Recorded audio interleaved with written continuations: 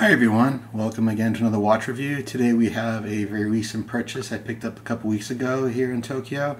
This is the Oris Diver 65 in blue, um, affectionately known as the Deauville Blue, um, evoking some memories of uh, certain beaches in France. Um, it's a really nice blue and uh, really helps make this watch stand out uh, in any collection. So the Oris 65 itself has gotten quite a bit of a decent press on the uh, the internet these days, um, ever since its its debut um, last year in black um, with the rubber and tropic straps. It has been a popular choice for people looking for a, a nice quality vintage piece without spending too much money. Um, I've been watching it myself and uh, you know just waiting to pull the trigger on it. And uh, when this was available on the steel bracelet with the blue, uh, the time was right for me, so I decided to go ahead and pick it up. So um, let's hopefully get a better focus here. Um, the watch itself, again, as I said, is, is the blue dial. Um, the black dial itself is also, you know, quite a lovely piece. Um, but uh, for me, I wanted something different. Um, have, you know, tons and tons of black dial diver watches.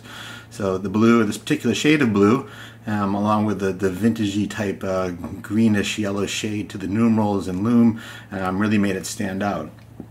Um, as I mentioned, the, this watch has been reviewed a few times, so I won't go into the, the, the details and, uh, and uh, you know be repetitive, but um, it is a very nice piece uh, because of its size. It's very, very different uh, than a lot of the watches that are available today. It does do a very good job of evoking its predecessor, although it is slightly larger at about 39 millimeters by 12.9 um, in thickness.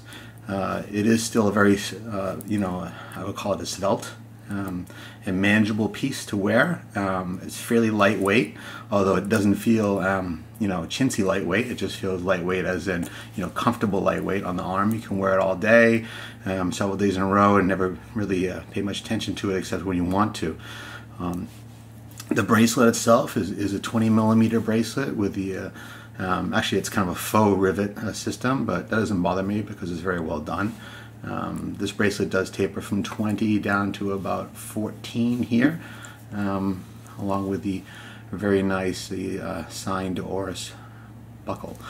Uh, materials throughout, very high quality, very, very well finished. There's really not a rough edge anywhere in this case uh, or the bracelet. Um, the polishing and brushing is done just right in my opinion. You know, most of the surface when you look at the watch this way is brushed, uh, whereas on the sides it is polished. Um, very subtle, very well done, my opinion. Um, again, it is a thin case, as you can see on the side here, so it does sit well on the arm. Uh, you know, that's that's a welcome change from some other watches. Um, like for example, right now I have my my trusty Seiko Sumo on, and probably that's not going to focus because of the distance. But you know, it's, a very different kind of watch. very very uh, thick and substantial. Where this is uh, more light and carefree. Uh, different styles uh, for different days. Um, that's why we collect watches, right, everybody? you know, that's why I have far too many watches myself, to be honest. um, but back to the watch itself. Um, it, it is a lovely watch. Um, and at the price it's available, um, I picked this up here in, in Japan for probably about a little less than $1,300 US um, delivered with sales tax which uh, you know is not not too bad at all. I think for the kind of quality watch you've got. Um, as you've seen in my other videos, I do have another Oris Aquis, so I'm familiar with Oris quality and, and quite a fan of what you get for the money. Um, I was actually eyeing another Aquis along with this, but uh, you know, just just the fact that this is so different and unlike anything else in my collection was really what made me want to um, um, go ahead and, and actually buy it. I had also really, really wanted one, um, as I mentioned earlier, on the stainless steel bracelet. Um, that is a fairly recent addition to the line. Um, so the stainless plus the blue um, really is what tipped me over the edge. Um, the great quality price. Um, timekeeping, I'm not sure yet because honestly, I never wear my watches long enough to see how much they slip in seconds per day. Um, I do use um, you know time apps on my phone once in a while when I'm really curious, but uh, I have enough trust in Oris and their accuracy from my experience with the Aquis not not to be really concerned about it. And uh, to be frank, you know, if you're really worry about accuracy, you wear a quartz or a G-Shock or something. You wear a mechanical watch um, for its functionality, um, the, the, the, craftsmanship, in actually making something that's always moving. There's always in motion inside, even though you don't see it. Uh, the precision of the parts. So it's you know timekeeping, of course, is important, but you know a couple seconds per day doesn't really bother me either way. It's more about um, you know the watch itself, you know looking down at my wrist during the day and and checking out uh, how it looks, uh, how it feels, um, you know how it can change my mood depending upon the uh, the appearance and the feel of the watch on on that particular day with whatever whatever I'm wearing or whatever I'm doing.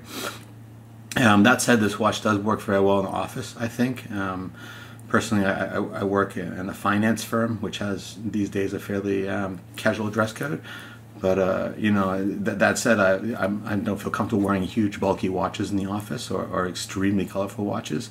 Although I have one, my, my Oris with orange strap. That's kind of like a Friday watch for me to, to kind of lighten things up a little bit. Um, but this one, you know, is, is really comfortable in the arm. Um, when it gets uh, cold again and I go back to long sleeve, I'm sure will fit under a, a dress a dress uh, sleeve with, without any problem whatsoever. Um, so the watch itself, um, again, as I said, um, about 39.5 to 40 millimeters, depending where you measure it along the along the bezel.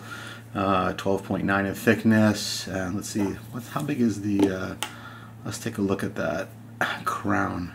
Um, the crown itself is about. Let's see. Uh, sorry, shaky hands. Um, 6.9, so about 7 mil on the, on the crown, um, which is a traditional size for um, old old divers without without particularly ones without, without crown guards.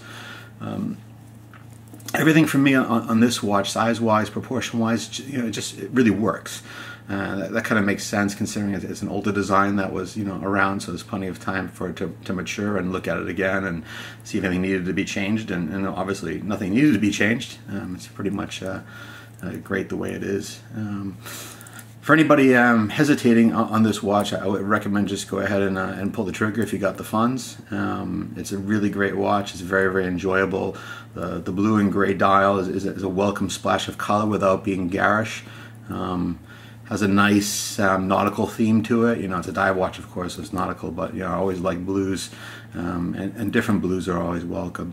Uh, the bezel itself, um, as other people have probably mentioned in reviews, is, is a very nice, um, solid clicking bezel. It's got a really nice feel to it.